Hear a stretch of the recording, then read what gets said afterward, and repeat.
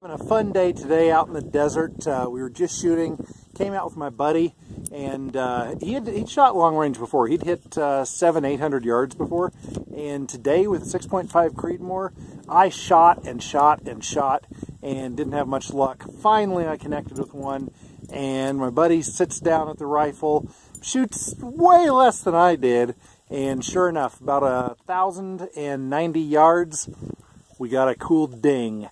And that ding is, uh, man, that's a huge thing. I love that sound. It's so rewarding.